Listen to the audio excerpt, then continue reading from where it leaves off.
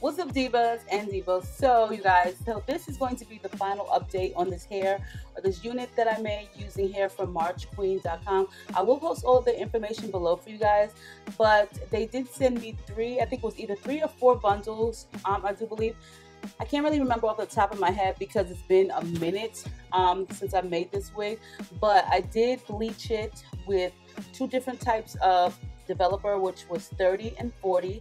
And to get this very blonde from the first go round, I did do it um, 40 or 30 first, and then I put the 40 over it, and then I had like the 40s at the end. So and then just to make it all really, really light, I used the T14 Wella Toner along with 30 Developer and I just saturated the entire wig.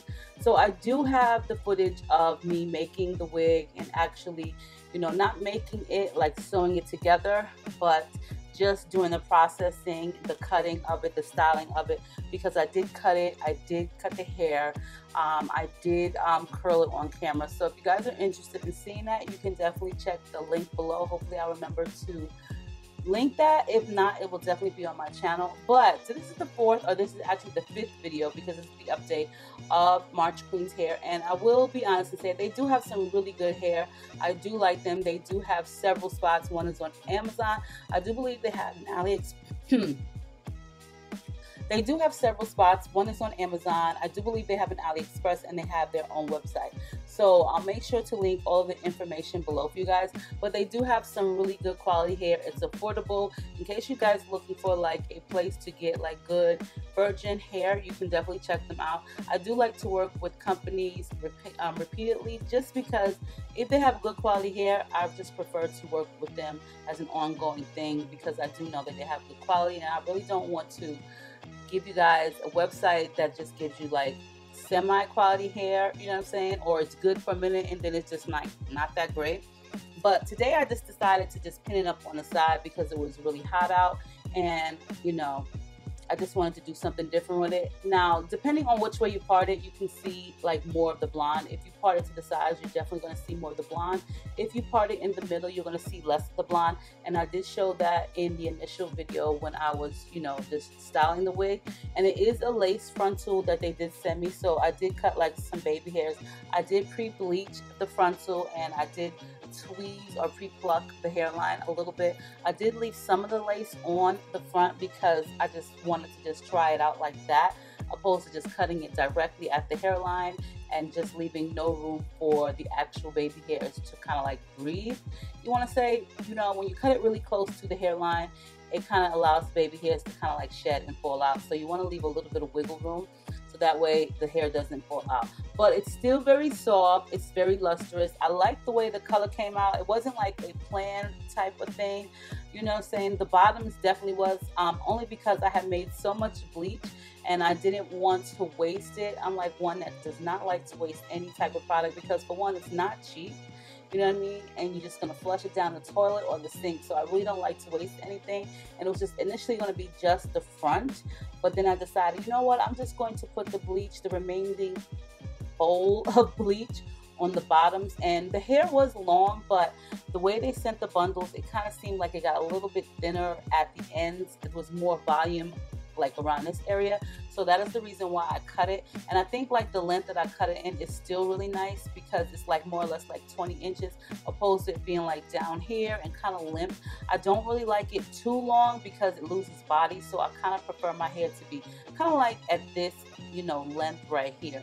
But the back is not, there's no blonde in the back. It's just all one solid color. Unless you see some blonde, then that's just from the frontal. But for the most part, it worked out really well. I think it came out cute.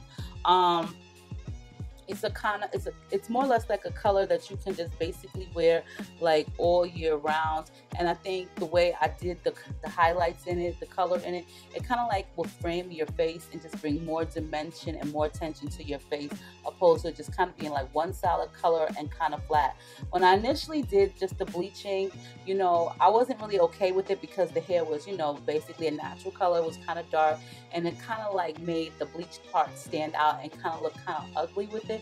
So that's the reason why I just took like the 30 developer and saturated the entire hair just to lighten it up in a lot of the areas, which it did, and I think it came out really great like that. Um, I have done that on previous wigs and bundles, so I knew it was going to come out a lighter color. If you use 20, it's only going to lighten it just a little bit, but if you use 30, then it's definitely going to like lighten it more. It's going to take it a level up. I've never used 40 developer with a actual toner, so I really can't tell you about that but I will say it did not dry out. The only issue I had is there's a little bit of hairs in the frontal that are shorter, and I just achieved that by putting some of my favorite hairspray and just laying it down, and it's good to go. So, you guys, you can definitely check out marchqueen.com. They always have like great deals, sales, whatever, and they also have amazing quality hair. And I'll give them that. And yeah, make sure you guys check out the very first initial video that um, I posted on this wig. Now, for the for the toner, toner is so hard to get out of your hair, like the scent, the smell of it. Like some people don't like the smell of toner. It doesn't really bother me too much. Um, I kind of like the smell, but for those of you guys, you just really want to make sure that you shampoo it really good when you are removing the toner because if you don't, you're definitely going to smell that chemical in it. And some people, it may bother you, but I would definitely suggest shampooing it out, um, maybe with like a um, just like a coloring shampoo. Those always seem to work really well when it comes to like toners to get like that chemical smell out. So I was able to get like 90% of it out. So, you know, it's not so strong scented. But other than that, I think it came out like amazing. I just did like some wand curls in it and just left it as is. But hey, it's really cute. I did sew it on an adjustable deluxe wig cap. So it's more or less like a netted cap and it just has like the adjustable straps in the back and I like them a lot because they're very breathable and they're very versatile. So you can do a frontal on them, you could do a closure, and you can also do a U part or you can also make a half wig. So yes, you guys. Um, and if you haven't checked out my latest video on how I make my wigs and what wig supplies I use, such as caps, thread, needles, um, mannequin heads, then I will also hopefully try to remember to link that down below for you guys as well. But yes, check out March Queen. They got some bomb hair. I do like them a lot. They have like the bombest blonde hair closures and frontals. I have tried one of those in the past. And that's just about it, you guys. So I love you all. Make sure you rate, comment, subscribe. Let me know what you think of this unit right here. And I'll see you guys in the soon to come video.